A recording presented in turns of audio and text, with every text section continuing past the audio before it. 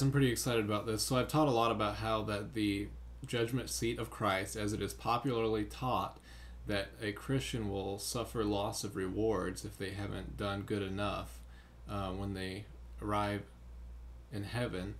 Um, I've said that that's a false doctrine, and um, I've talked about it a lot. I haven't really made a lot of good studies on it yet, but I want to start that now. Kind of this has to deal with that, but also something else that someone else recently showed to me or brought to my attention and that is blood on your hands. Like some say that if you did if you didn't witness to somebody, then when you get to heaven you have blood on your hands. Okay, does the Bible actually teach that? No, it doesn't. Okay, it's just like the loss of rewards thing. It's saying that there will be regret or suffering um, for Christians who are saved in heaven, which is absolutely false. But this is going to be a little bit of a lengthy thing I'm going to read here, and I think it's very well done. And like I said, there will be a lot more on this. I know I need to cover a lot of verses concerning rewards and stuff that people get confused about. Um, but let's start, okay? Today, multitudes of pastors um, or teachers who claim to have the only truth in America go about the highways and hedges, putting unsuspecting Christians back into bondage, the bondage of fear and guilt. This ought not be. Sermons have been preached, and some have said, we should be scared of the coming judgment seat of Christ. How much damage has been done to individual hearts that have been persecuted by a steady diet of this false teaching? If this teaching be true, then 1 John chapter 4 verses 15 through 19 is a lie. If it is not a lie, and it is not, then the teaching that is a lie should be stopped. Okay? Whosoever shall confess that Jesus is the Son of God, God dwelleth in him, and he in God. And we have known and believed the love that God hath to us. God is love, and he that dwelleth in love dwelleth in God, and God in him. Herein is our love made perfect, that we may have boldness in the day of judgment, because as he is, so are we in this world. There, there is no fear in love, but perfect love casteth out fear, because fear hath torment. He that feareth is not made perfect in love. We love him because he first loved us. 1 John chapter 4, verse 15 through 19. Does this scripture not say that our love is made perfect in God? Because of this, we may have boldness, not fear, in the day of judgment. And does it not say that there is no fear in love, but perfect love casteth out fear? Christians are going to be perfect in every aspect when they appear at the judgment seat of Christ. The proof of this statement will follow, but what is necessary to demonstrate now is that those who preach blood on your hands, fear, and tears have been robbed and in turn are robbing others of knowledge that all Christians can have absolute freedom of fear. 1 John chapter 4 verse 18 states there is no fear in love but perfect love casteth out fear because fear hath torment. He that feareth is not made perfect in love. Scripture does not teach that Christians should fear the coming judgment. It is preachers seminary and Bible school professors and other people that are in bondage of fear that are not made perfect in love. What should be changed should the scripture be changed? Or should the teachers of blood on your hands go to the scriptures to be changed themselves?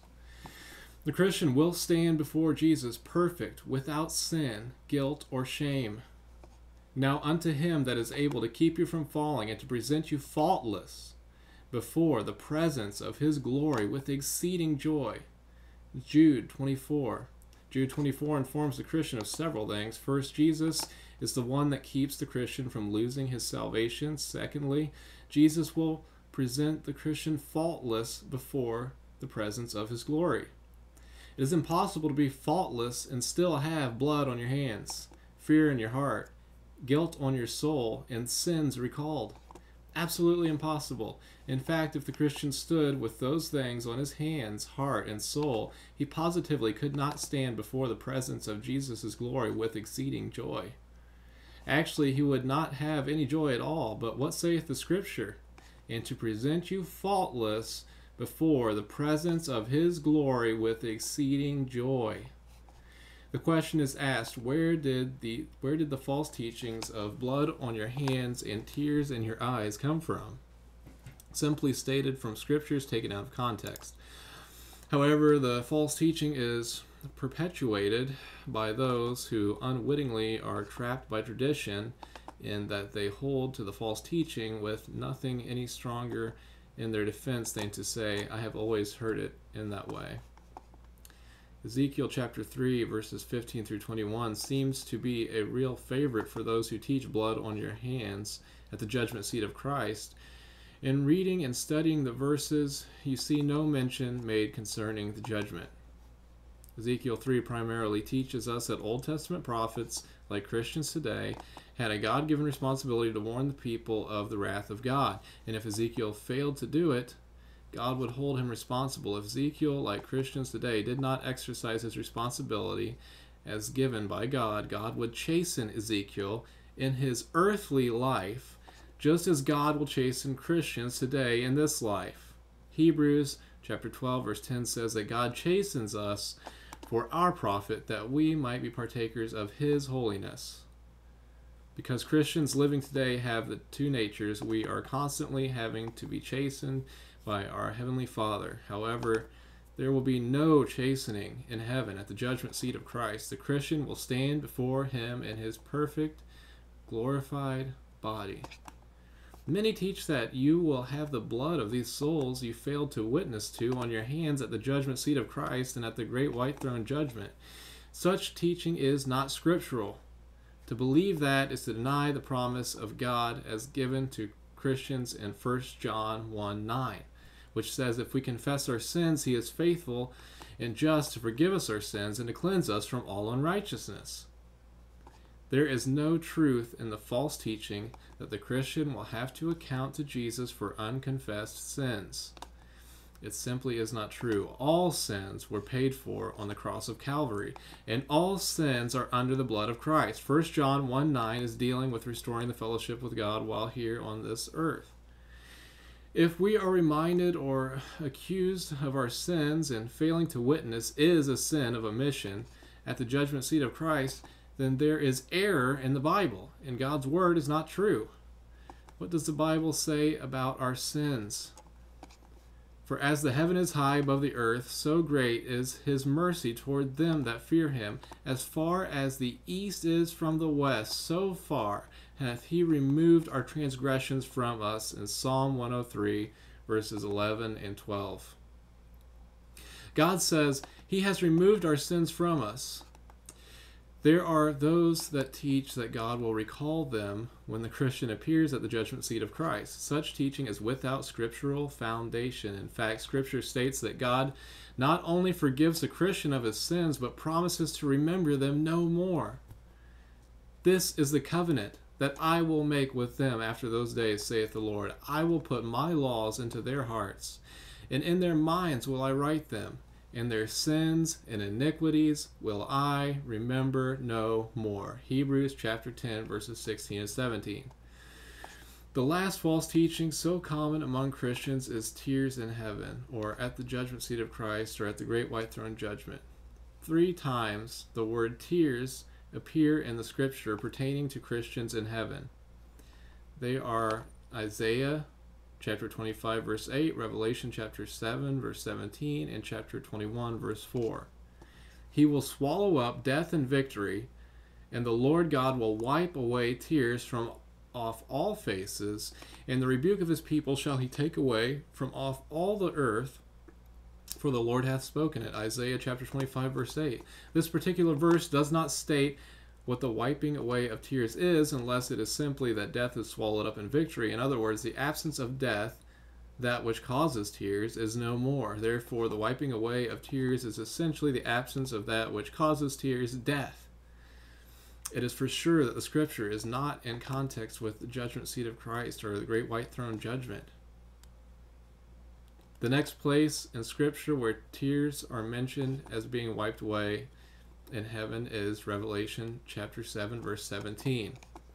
And one of the elders answered, saying unto me, What are these things which are arrayed in white robes, and whence came they? And I said unto him, Sir, thou knowest. And he said to me, These are they which came out of great tribulation, and have washed their robes, and made them white in the blood of the Lamb. Therefore are they before the throne of God, and serve him day and night in his temple. And he that sitteth on the throne shall dwell among them. They shall hunger no more, neither thirst any more, neither shall the sun light on them, nor any heat, for the Lamb which is in the midst of the throne shall feed them, and shall lead them unto living foundation of waters, and God shall wipe away all tears from their eyes. It is absolutely evident that the above account of wiping away tears is not at the judgment seat of Christ. The account clearly deals with those that have come out of great tribulation. Hunger, thirst, bright hot sun light can cause tears. Therefore, the context of Scripture, the wiping away of tears, is nothing more than the absence of those things which cause tears. We find the same reasoning in regards to wiping away tears in Revelation chapter 21, verse 4. And God shall wipe away all tears from their eyes, and there shall be no more death, neither sorrow nor crying, neither shall there be any more pain, for the former things are passed away. The last phrase of Revelation 21 4 says, For the former things are passed away. Note, all the former things cause tears, death, sorrow, crying, and pain. Again, in context with the scripture, the wiping away of tears is nothing more than the absence of those things which cause tears.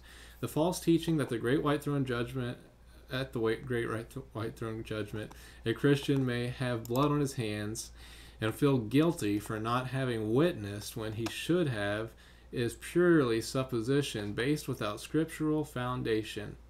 There is no scripture that teaches such a doctrine. In fact, the scripture clearly states that the only blame for a lost person that the only blame for a lost person going to hell rests solely upon the condemned individual himself. For the wrath of God is revealed from heaven against all ungodliness and unrighteousness of men who hold the truth in unrighteousness, because that which may be known of God is manifest in them, for God hath showed it unto them.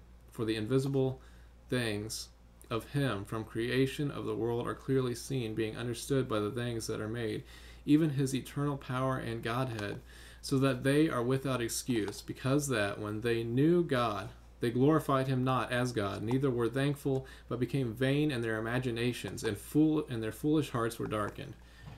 And their foolish heart was darkened. Professing themselves to be wise, they became fools and changed the glory of the incorruptible God into an image made like to corruptible man, into birds and four footed beasts and creeping things. Romans chapter 1, verses 18 through 23. The scripture leaves no doubt as to the condition of the con- condemned man at the great white throne judgment. He will not point an accusing finger at any of the saints and say, Why didn't you tell me? because the scripture clearly states they are without excuse. Therefore, any teaching that says that some of the lost may point a finger at a saint and blame the saint for not telling him is contrary to scripture. However, many sermons contain threats proclaiming that someday at the great white throne judgment, those whom you had a chance to witness to but did not will point an accusing finger and say, Why didn't you tell me? Then, supposedly, according to their false teaching, you will cry bitter tears of remorse for having allowed that lost soul to enter into eternity of damnation without Christ. Nothing further could be from the truth. Next time you hear such a proclamation made, ask the one proclaiming that teaching for biblical reference, chapter and verse, along with content in which the verse rests, which is being used for the authority. According to Romans 3, all men are sinners. The only difference between the sinner, which is going to spend eternity in hell, and the saint, which is going to spend eternity with the Lord Jesus Christ, is one rejects the free gift of having his sins paid for by Jesus on the cross of Calvary, and the other repents and calls out in believing faith to Jesus to save him. The Bible plainly states in Romans chapter 10 verse 13, "For whosoever shall call upon the name of the Lord shall be saved." Whereas the sinner who rejects the gift of eternal life through Jesus Christ, the Lord, shall stand silent and guilty before God at the great white throne judgment, fulfilling Romans 3:19, which states, "Now we know that what things soever the law saith, it saith unto them who are under the law, that every mouth may be stopped, and all the world may become guilty before God." Some would argue that the above verse, that this verse pertains only to today. However, it pertains both to today and also at the great white throne judgment. Today, in regards to those who come to Jesus because they see themselves helplessly lost in their sins and in dire need of the Savior's tender, loving grace, mercy, and forgiveness. They have come to realize that they are under the law and have failed to keep it miserably and stand condemned before the God of heaven, their Creator. They have nothing to say to defend or justify themselves, thus their mouth is stopped. Instead, with a broken heart, they fall in humble faith before their God and Creator, Jesus Christ, and call upon His name. Thus, the Creator becomes their heavenly Father, Lord, and Savior. Instantly, they become a child of God, completely cleansed of their sins. In regards to those who reject the salvation of their soul, which can only be secured by placing faith in Jesus, in Christ Jesus, Today their mouths are not stopped. They curse at God and call him a liar by rejecting God's only provision for their salvation. All are guilty of this sin who have not come to a place of saving faith in Jesus. Some even verbalize their damnable ven- venom by vocalizing their disdainful attitude, allowing others to hear and witness their foolishness. But, and I saw a great white throne and him that sat on it, from whose face face, the earth and the heaven fled away, and there was found no place for them. And I saw the dead, small and great, stand before God, and the books were opened, and another book was opened, which is the book of life. And the dead were judged out of those things which were written in the books, according to their works. Revelation chapter 20, verse 11 and 12. The dead spoken of here are those that have rejected Jesus Christ and because of their unbelief are condemned to an eternity without God. There are no saved among these dead, for the saved have been gloriously resurrected with their glorified body. And the sea gave up the dead which were in it, and the death and death and hell were delivered up, delivered up the dead which were in them, and they were judged every man according to their work and death and hell were cast into the lake of fire. This is the second death, and whosoever was not found written in the book of life was cast into the lake of fire. Revelation chapter 20, verses 13 through 15. The book of life is the same book which Jesus referred to when he spoke to his disciples in Luke 12, Luke 10 20, saying, Notwithstanding, in this rejoice, not that the spirits are subject unto you, but rather rejoice because your names are written in heaven. Is your name written in the Lamb's book of life? Okay.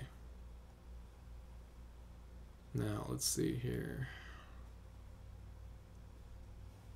Some pastors and evangelists would defend their erroneous teaching with the poor excuse, I'm just trying to motivate God's people, but to that I reply, keep your attempts to motivate others unless you are being used by the Holy Spirit to proclaim the truth.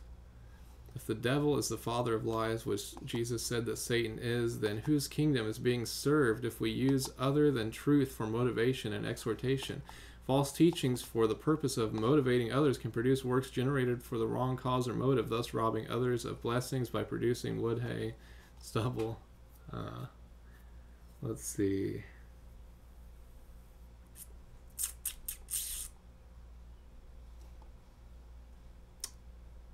So, um, just because Christ has totally set you free from sin and will present you perfect before Him, use this liberty that you have in Him not to sit around and do nothing, okay? Uh, but serve Him fervently in love. For brethren, ye have been called unto liberty. Only use not liberty for an occasion to the flesh, but by love serve one another. Galatians chapter 5 verse 13. God's word teaches that God forgives a Christian of all sins and remembers them no more, and that the judgment seat of Christ is to be looked forward to. It is my prayer that other Christians would search these false teachings out, then determine in their hearts and proclaim the truth, eliminating the blood of your hands doctrine and free the freed. The Christian is free in Jesus, and we, as called men of God, should encourage those that are in Christ. However, I am afraid too many of God's men are guilty of discouraging and placing others into the bondage of fear and guilt. The following are additional scriptures to describe our standing before the Lord Jesus Christ, who shall also confirm you unto the end that you may be blameless in the day of our Lord Jesus Christ. 1 Corinthians chapter 1 verse 8. Therefore judge nothing before the time until the Lord come who both will bring th- to light the hidden things of darkness and will make manifest the counsels of the hearts and then shall every man have praise of god. 1 corinthians chapter 4 verse 5 compare with these at that that thine alms may be in secret and thy father which seeth in secret himself shall reward thee openly Matthew chapter 6 verse 4 according as he hath chosen us in him before the foundation of the world that we should be holy and without blame before him in love. Ephesians chapter 1 verse 4 that he might present it to himself a glorious church not having spot or wrinkle or any such thing but that it should be holy and without blemish. Ephesians chapter 5 verse 27 if just one Christian among the vast multitude has any spot or wrinkle then the church would not be without spot or wrinkle. Therefore what does that say about the individual Christian? That he too is without spot or wrinkle, to the end he may establish your hearts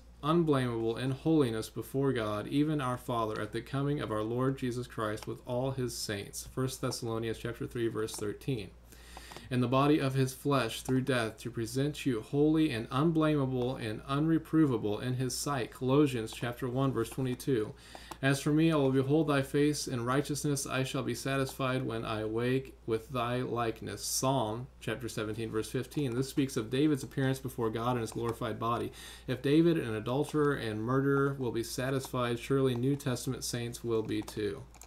And he answered and spake unto those that stood before him, saying, Take away the, the filthy garments from him.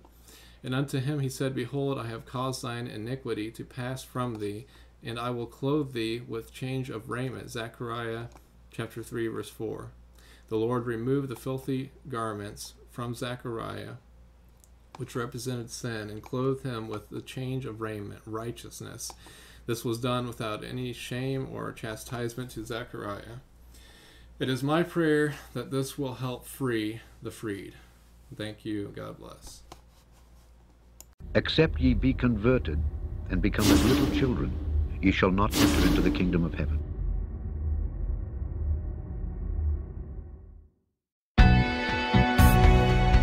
ExceptYeBeConverted.com is an anti-church system, Trinitarian, free will, eternal security, King James only, Christian Zionist, Young Earth Creation, Lordship Salvation Ministry where you can learn sound doctrine, apologetics, hermeneutics, and more. ExceptYeBeConverted.com is mobile friendly and secure from hackers and malware with SiteLock. Are you looking for fellowship? ExceptYeBeConverted.com is a virtual community with daily visits from men and women around the globe. Each page includes a comment section. There is a live chat feature that is available on the desktop and mobile version where you can chat with anyone on the site at any time. Join the fun on the message board, which you can access by clicking on the link on the footer or by going to exceptyebeconverted.proboards.com. ExceptYeBeConverted.com offers MP3 Bible teaching through sermon audio, which you can access through the website or through sermonaudio.com or the Sermon Audio app. Just search for It Is Written KJV. If you would like to send me your prayer requests, questions, or comments, there is a contact form on the website, also my Facebook and Twitter. Feel free to contact me anytime. I would love to hear from you. Please visit today, support the ministry, share with your friends and family, share on gospel tracks, pray for the ministry, become a partner, and help spread the truth of God's Word far and wide. Introducing new video series for YouTube channel It Is Written KJV 1611.